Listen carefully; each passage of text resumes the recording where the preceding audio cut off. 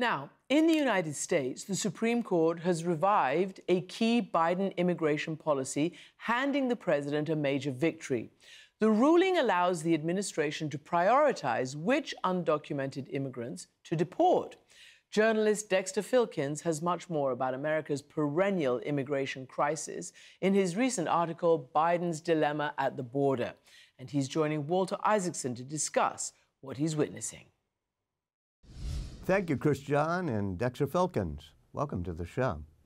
Thank you. Thank you. Man, you've covered Iraq and Syria and Afghanistan.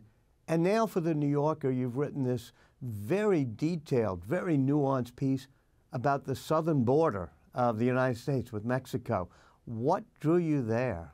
Well, I, I was just I was struck by I was struck by the chaos really, and also and also the level of disagreement in in the country about what was actually happening. So, you know, if you if you read the New York Times in the morning, uh, that gives you one picture, and then but then if you go to Tucker Carlson, uh, you know, formerly of Fox, he was on every night with with a completely different picture. And i i was sort of struck by that. And i thought so so i went into that story with with a with a pretty simple question which was just how many people are getting in and how many people are getting sent back out you know but you also came up with an answer that it is truly transformed towns and places along this 2,000 mile border. It was very rich in detail in that. Were you surprised? Because uh, I'm down here in Louisiana, we kind of know, but most people in this country, were you surprised that they don't know how transforming this is? I absolutely, absolutely. I mean, it's it's begun to touch the cities in the Northeast. But gosh, if you if you live in Texas down on the border, it's it is transformative. I mean, that's the word. And so you have you have towns like Del Rio where where literally tens of thousands of people have moved through there in the past two years. Like I think in Del Rio, it's a city of about 40,000 people. They've had about 80,000 people come through their town. So if you could just imagine your own neighborhood, legions of people coming through on on the and they, and and they don't stay typically. They you know they move on out, but it's just this kind of constant stream of people. Speaking of Del Rio, you talked to the mayor, now the former mayor there, and it was just a very surprising conversation. He gets phone calls. Tell us about, you know, give us a narrative, because your piece is very much a narrative piece. Well, so the, the mayor, the former mayor of, of uh, Del Rio is a guy named Bruno Lozano. He's a Democrat. He's gay. He's he's uh he's he's a flight attendant for Delta. Actually, it's a I mean the being the mayor there is supposed to be a part time job.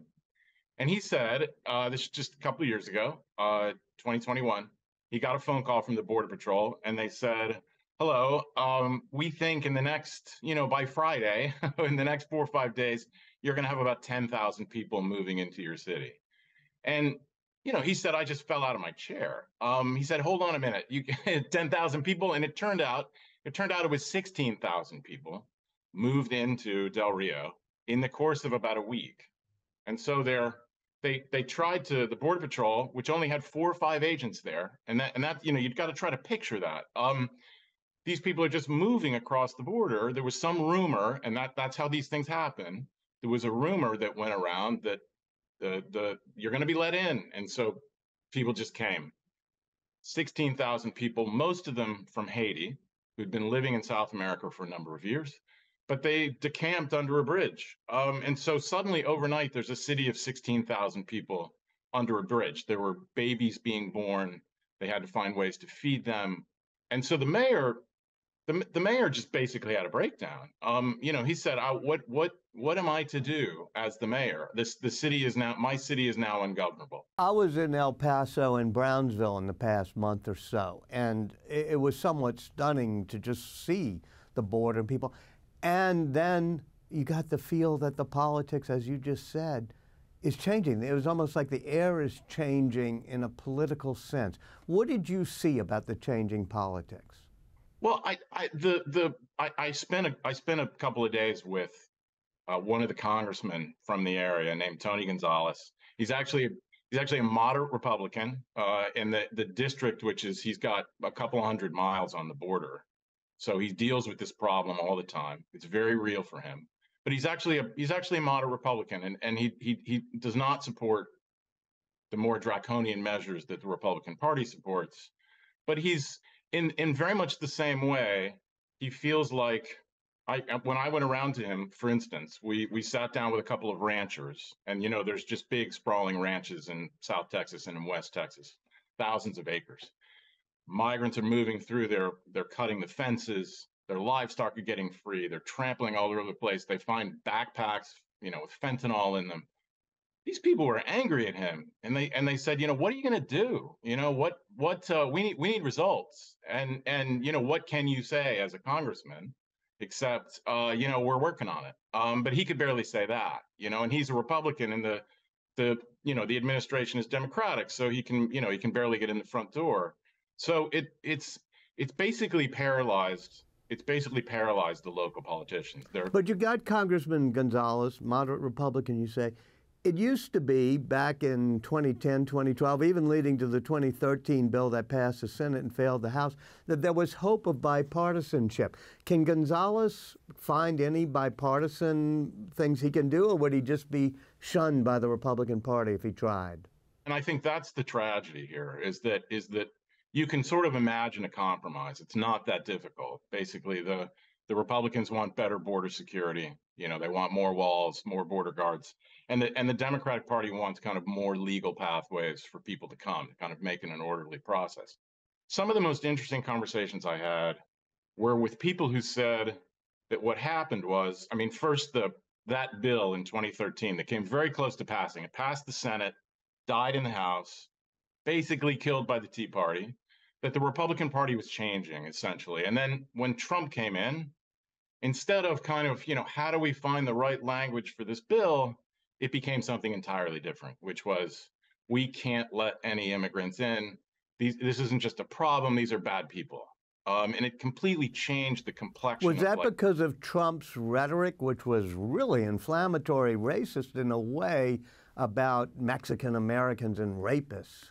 Yes, and I, you know, I had an interesting conversation. She's, she's actually not quoted in the piece, but very interesting woman, Linda Chavez, who worked for the Reagan administration, and she she told me that she often goes around the country and gives a speech in which she says we need immigrants for the economy. She said forget about the humanitarian argument. This is about self-interest. We need them. And she said i give that speech everywhere. And you know people to the chambers of commerce all over the country people are applauding at the end of it. 2015 when trump became a candidate the reception that she got to that same speech just changed markedly you know, she said, I, I practically had to run out of the room in some of these places. People's views of immigrants, particularly among Republicans, began to change very drastically. And I, so I think that's contributed to it. Well, let's talk about Biden for a second. You called your piece is titled Biden's Dilemma at the Border. Why is it a dilemma? What is the dilemma? I, I think there's a dilemma for him in, in the party. And, and I think I tried to describe this in the, in the, in the piece the during the campaign, Biden gave a number of speeches in which he said what what President Trump is doing on the border is inhumane. Um, he, you know, he's enacted these draconian programs, and he's giving America a bad name around the world. And we're going to take those programs, we're going to we're going to tear them down, and they did. They went into office and they took down all of all of President Trump's programs. Remain in Mexico, the transit ban, these things that were that were set up to try to control the enormous flow of people, the daily flow that is coming in. And what's happened, um, and I and I I think that Biden was led to that point by by the by the left wing of his party. I think. And you say that he invited a lot of those progressives on immigration to be his policy team initially, right? Yeah, Has there been some change? Yes, and that that's that's been so interesting to track over the past couple of years. So basically, what happens is Biden comes in, you know, basically uh, with the left wing of his party. They take down all of Trump's programs, and what happens? We get this incredible surge of people. So that over the past two years, depending on how you count, it's a little difficult. About four million people have come across the border and into the United States. I mean, you know, that's that's bigger than a lot of states. And this is not sustainable by it's not sustainable economically, politically, anything. It's it's too much. Um, you know, there's 70,000 migrants in in New York City living in hotels. Um, it's costing it's cost a billion dollars already. And I think B- Biden came to that realization And so what's happened is is that you're watching over the over just the last six months, the policies change.